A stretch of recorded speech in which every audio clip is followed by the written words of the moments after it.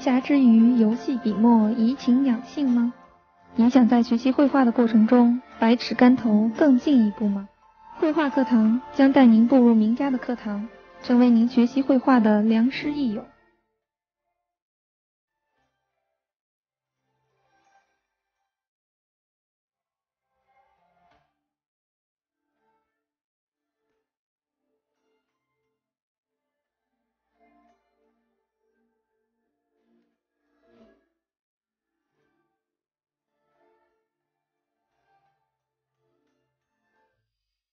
观众朋友们，大家好。我们这三次课呀，都是讲鸡，鸡的画法、鸡的结构、鸡的动态变化。徐湛，中国花鸟画研究院常务副院长，中国美协会员，北京市西城区美协主席，曾师从于李苦禅、郭卫渠和欧阳中石等大师，专攻写意花鸟画。有些同学呢，就说这个我从不知道怎么画鸡。到绘画机了，画的很像了，我觉得这是一个进步。但是画了像啊，这是第一步的问题啊。您不能把这鸡画像了，它像个标本，那不行。那下一个问题就是说，怎么样把它画的更生动一些？这个生动啊，有两方面的因素。因素，那就是动态生动。在动态上呢，咱们呃。不来那个就是亮相，是吧？呃，在那一亮相，是吧？这个动作有点空，应该是呢比较深入的动作。这个动态生动了以后，然后第二个因素呢是笔墨的生动。如果说动态很生动，笔墨呢呃不生动，结果画出来以后呢是死板的，还是一个架子。所以这个笔墨问题，咱们应该做一个训练的一个目标，等于啊是一课。今天呢。呃，我先给大家讲一讲笔墨。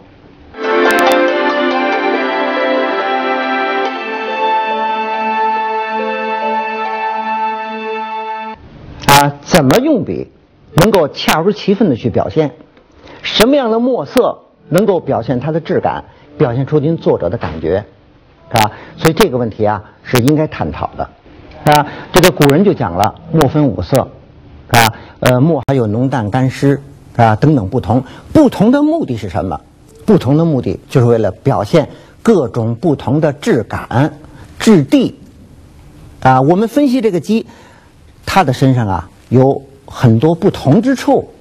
下面呢，我就给大家分析分析看看啊。咱们还是边画边说。我现在用一个中等大小的一个提斗笔，大家画的时候啊。呃，不要用太小的笔啊，太小的笔画出来以后啊，呃，太碎，没有变化。我们所要求的浓淡这些变化，长它就能够充分体现出来，短了就体现不出来了。还有就是它的笔触，大笔笔触大，小笔呢大不了啊，这样你就得拼凑，一拼凑就碎了。所以应该养成一个习惯，就是大笔画小画。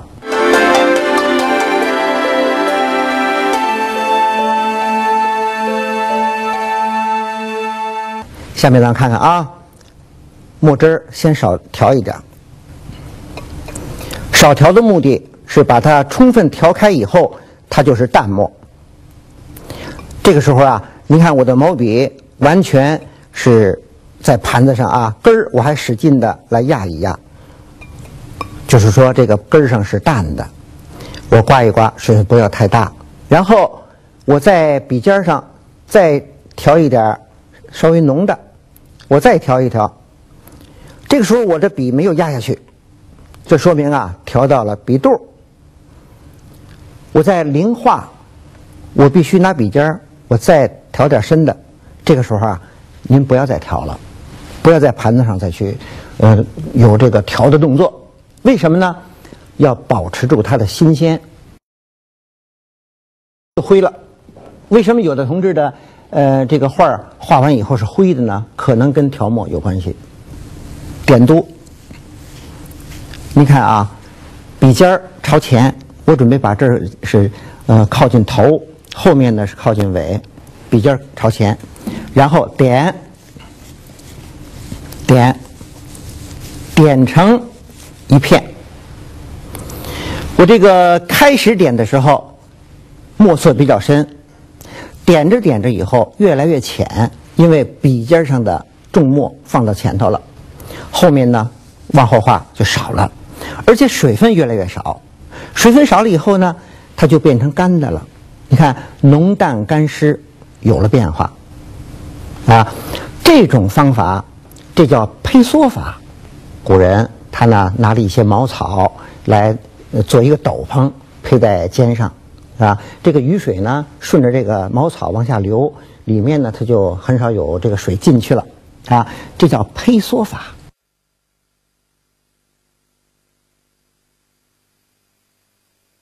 我们用的是中锋，然后我再调浓墨，这是羽毛。羽毛为什么用浓墨？它显得呀有力量。这是一排，然后我们在这啊再画。大家在画它的时候啊，一定要注意，不要画太规矩，过于认真就不潇洒。这边啊翅膀，哎，露出一个侧面。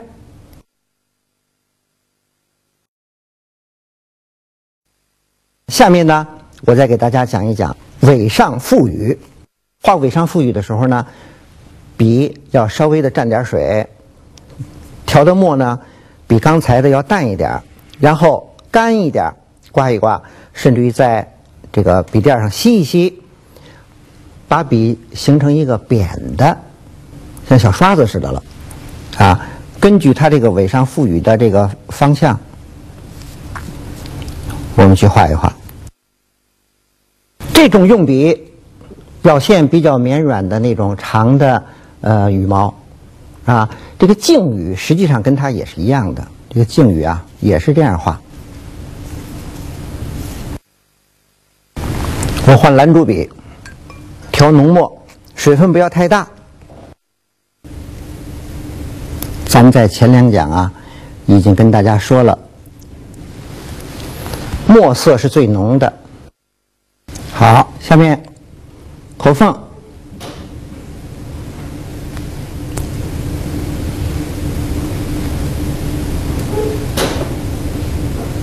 而，这三条线的关系是这样的啊，我再重画一下。第一条线长，第二条线往高了去，第三条线啊，这样，最长这靠中，这是最短。在尖儿这点儿，这第三条线不要从尖儿那儿跟它一一起出来，出的地方应该往后稍微错一点。今天所用的颜色，朱砂、曙红、胭脂。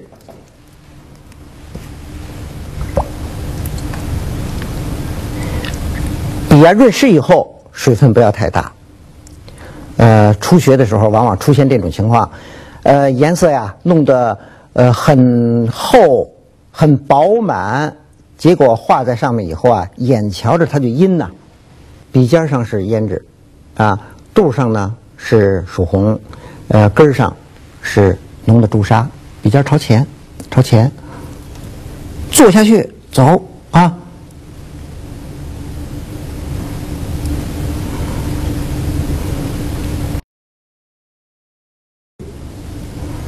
远处那个能看见一点儿就看一点儿，看不着也就算。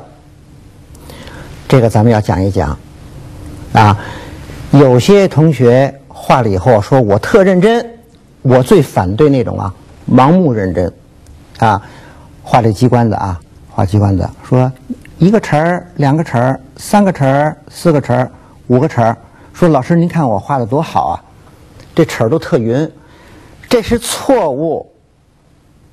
应该像火焰一样跳起来，然后有大有小，距离也有远有近，是吧？自然活泼。下面咱们还是用刚才那支毛笔，还是把它调扁，调的比较干。调扁以后，不怕笔大，啊，我们用它的棱儿。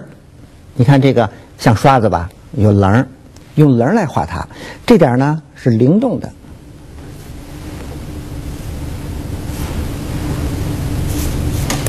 行了，那下面呢，咱们再看啊，我把它加点水，加点水，调。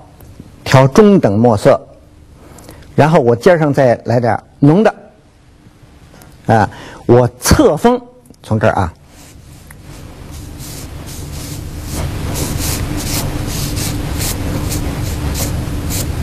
让它有点变化啊，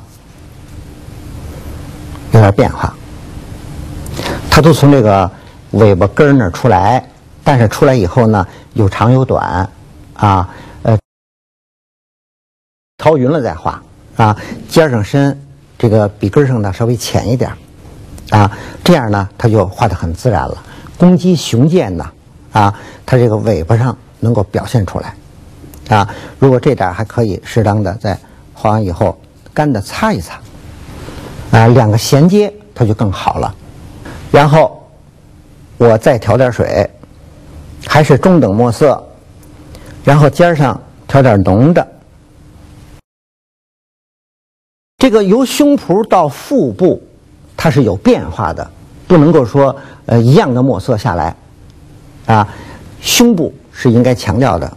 攻击啊，好，跟它接上，然后走，走的时候注意什么呢？直点啊，直一点。到这儿以后，大腿儿，然后后面又出现它的臀部，啊，然后那边的大腿比较虚。下面呢，我们画这个脚，我们可以拿花青加点墨。花青加墨，调好以后，水分不要太大，啊，可以用两笔这种方式去画。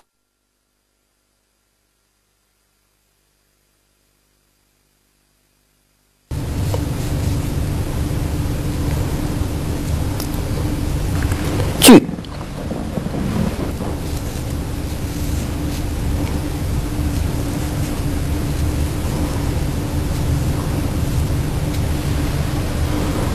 我再加点墨，这笔啊，水分不要太大啊。加点墨以后，在这儿勾一下，在前半截勾啊，然后出一个爪尖儿，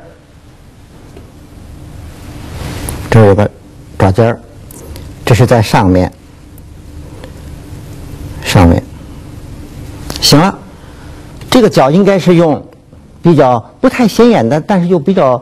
呃，重的颜色去画它可以，啊，如果是画黄的，里面加点赭石，稍微加点墨，别让它太突出了。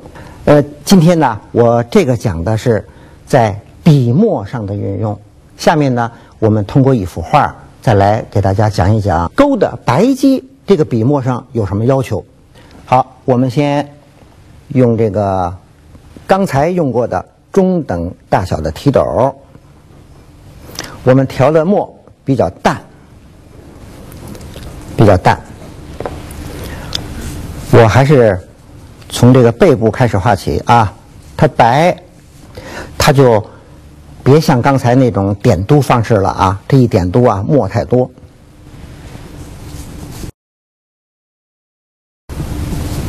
肩膀，这是第一排啊，第二排羽毛。然后，远处的羽毛，啊，这点是很干的，啊。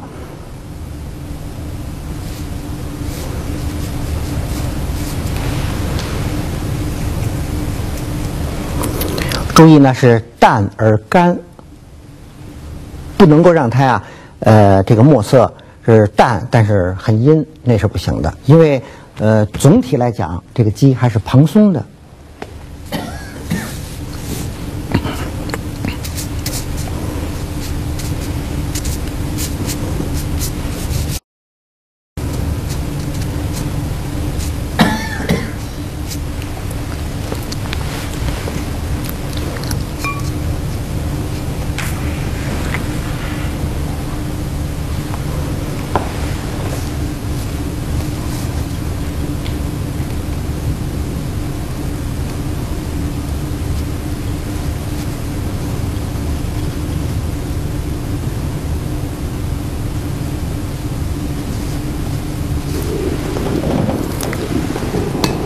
鸡头突出。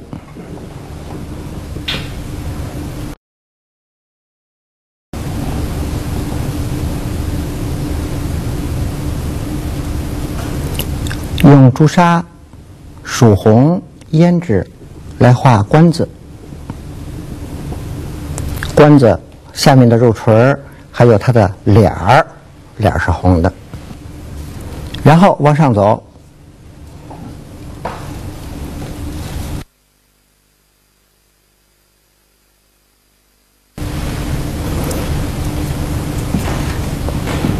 我们在这张画上啊，用两种衬托方式啊，呃，一种叫物衬，一种是反衬。物衬呢是有具体的形儿，有一种东西在衬它。这东西什么都行，你说是花卉也行，就是鸡、石头等等这些都可以。呃，具体的物品就叫物衬。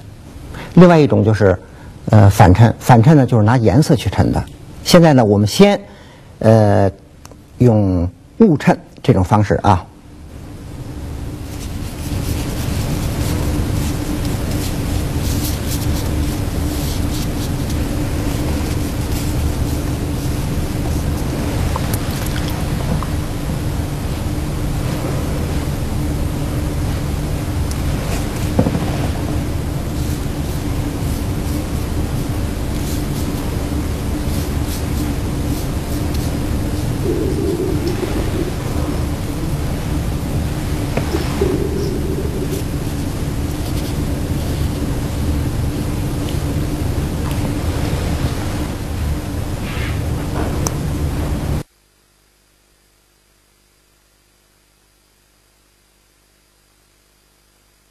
这个鸡头在这儿，啊，跟它平的这条线上，尽量不要再出现第二个鸡头。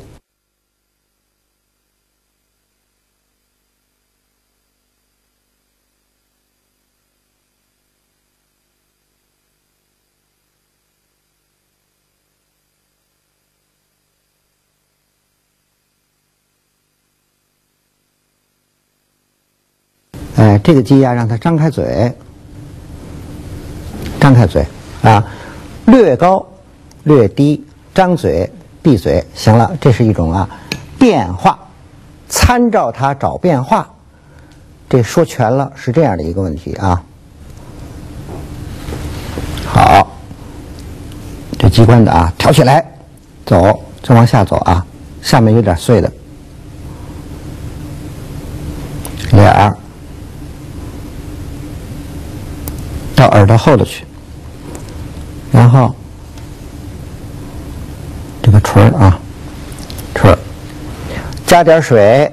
刚才说了，画这个静语的时候，不要太浓。你看这样啊，蓬松啊，这儿接上，接上以后，用棱儿啊，用棱儿，用它的棱儿，这一接就行了。啊，下边我再加点水，下面不需要蓬松了。这儿啊，笔尖上浓墨点下去，点下去，走，走，走到这儿，注意这形啊，我拿笔根在找它啊。为什么不拿笔尖找啊？笔尖的颜色太深了，别让它阴的太厉害，阴进去。破坏这个白肌，这就不好了。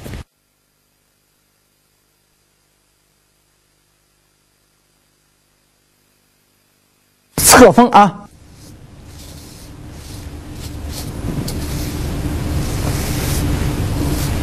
有些干笔在里头啊，浓淡干湿，让它自然的去表现。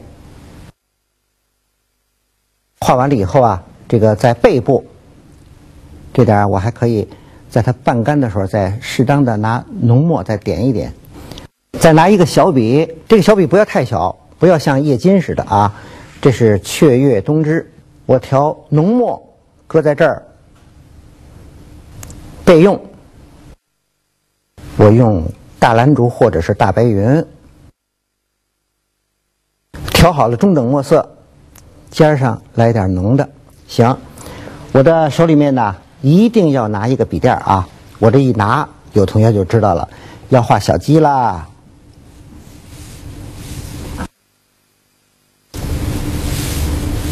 墨色变化啊，加水了，让它毛茸茸的阴出来一点儿，哎，控制，都集中在中间了啊！这个鸡也在上头，这个也在这儿，都在中心，不好。那好了，我们再添点啊。小鸡呀是很活泼的。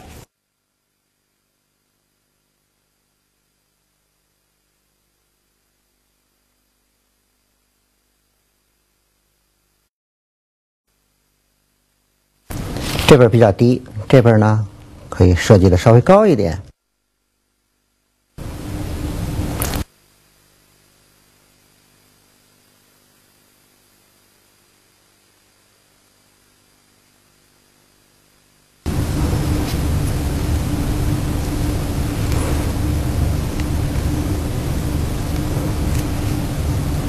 这个翅膀这个部分呢，呃，稍微有点阴，没关系啊。呃，眼睛您要点，但是看不出来也没有关系。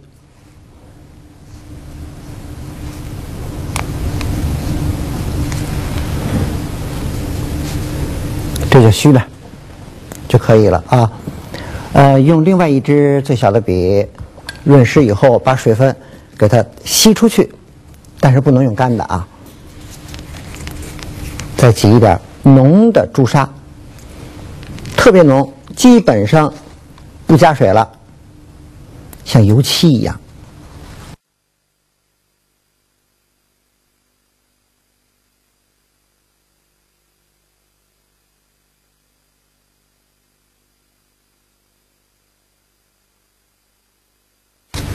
我们添点竹子吧。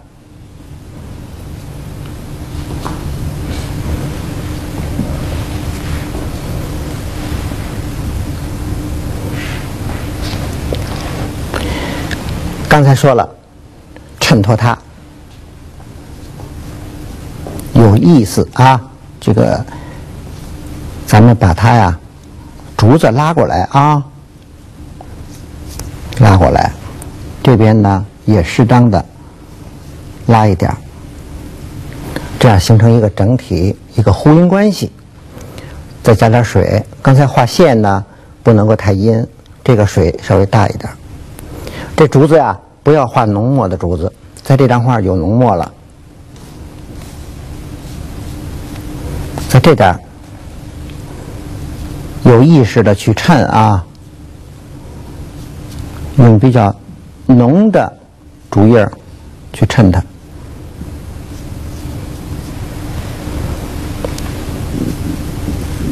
我们画任何一笔都应该是有目的的，让它起什么作用？绝不能够说这个可有可无的往上去弄啊！导演嘛，啊，能够用人比较精一点、少一点，那就不要多。你看这个衬托出来了啊！这边呢，给它稍微润一润。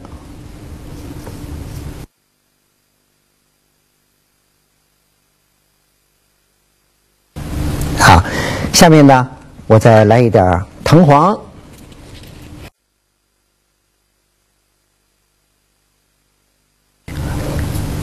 调在花青这里面，它就变成了淡淡的草绿，要求淡啊。现在干嘛呢？现在在反衬。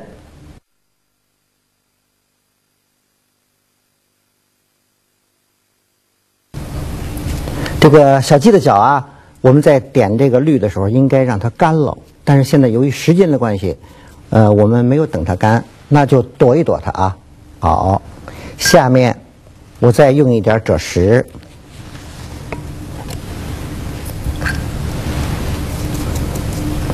这个藤黄，先调点藤黄，尖儿上再调点赭石。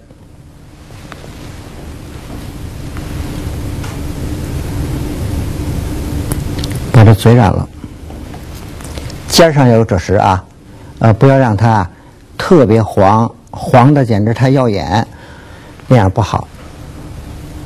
嗯，这个眼睛弄一点淡淡的草绿。我在前没有讲，就是怎么样去染它。现在大家统一的来看一看啊，呃，不要把它全染上，就在后头稍微润润的染一点就行了。下面呢，耳朵这儿来点淡淡的赭石。好，把这个小笔放下，放下以后啊，我们还是用稍微大一点这个笔啊，淡赭石。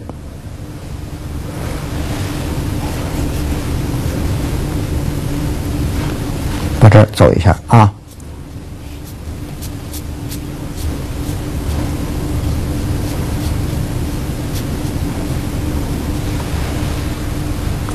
淡淡的赭石，在这个白鸡的外轮廓这儿走一下，这里头适当的有一点儿，有一点变化，这可别深了啊。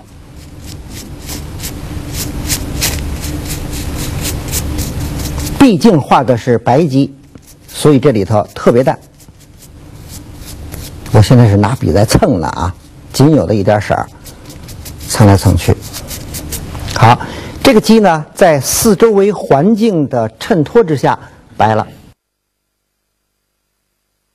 现在呢，呃，主体的东西已经都完成了。我现在把这个毛笔涮干净，然后啊，弄一点曙红，淡淡的啊。尖上再来一点深的，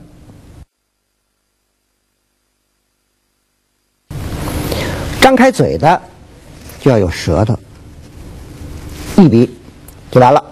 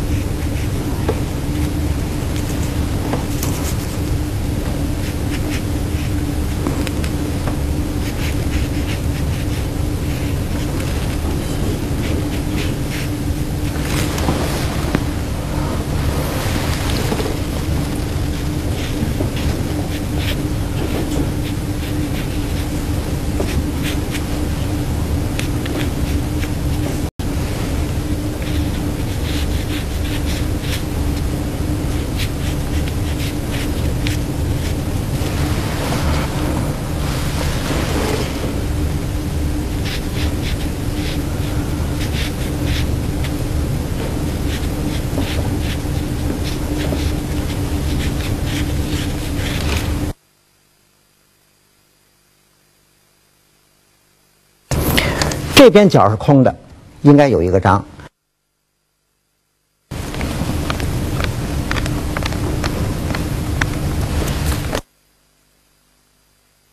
好，这个构图呢就比较完整了。我们还是以墨为主，然后呢就是以情节为主。你看这个这个这一家子多好啊，啊，表现的是一种情节。这个鸡呀，就是有这种大吉大利、吉祥如意这种意思。是吧？